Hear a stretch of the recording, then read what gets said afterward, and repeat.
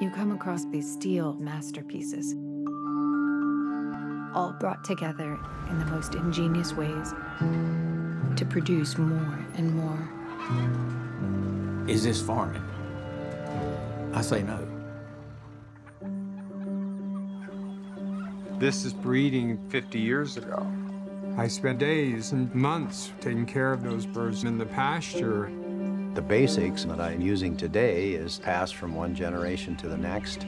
It's a way of life rather than going to a factory producing protein units. There's no way you can love an animal that has been genetically engineered to die in six weeks. There's inherent cruelty in that system. I started documenting things I saw or things I heard about. It was time to pull the trigger. It's against federal law to have cameras? You can't shut down the individual's right to know about what this industry is doing. There's got to be a stop.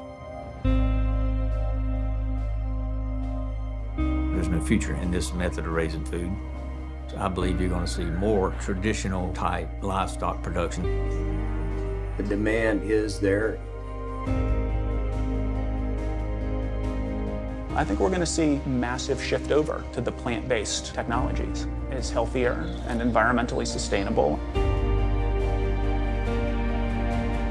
If we're going to change the system, there needs to be a place for farmers to come and relearn this again. This is my mission, fighting to keep something alive.